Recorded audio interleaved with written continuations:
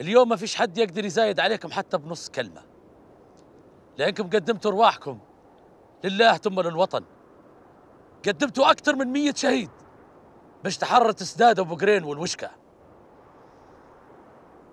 أمس كانوا يقولوا عليكم عصابات وميليشيات وإرهابيين. ولما صح الصحيح وينهم؟ وينهم اللي كانوا يشككوا في حبكم لبلادكم؟ وينهم في الميدان؟ وينهم اللي كانوا يعتبروا فيكم أنتم سبب المشاكل في البلاد؟ ويعلقوا في فشلهم عليكم أنتم. قاعدين عاقلين. يراجوا فيكم تفكوا عليهم من الغول اللي قعد لهم بعبع للعالم. العالم اللي حتى هو تنكر ليكم ولتضحياتكم ولفروسيتكم.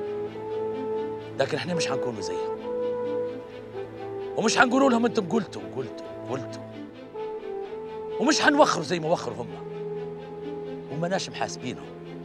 يحاسبهم ربي ويحاسبهم التاريخ. لأن إحنا ما ندافعوش عليهم. إحنا ندافعوا على شيء كبير اسمه ليبيا. ندافعوا على أرض وأرض. وهذا قدرنا. قدرنا أن ندفع ثمن حريتنا. أنا عارف أن أغلبكم ما تحتاج حتى عشرة جنيه. فما بالك بحوش وسيارة.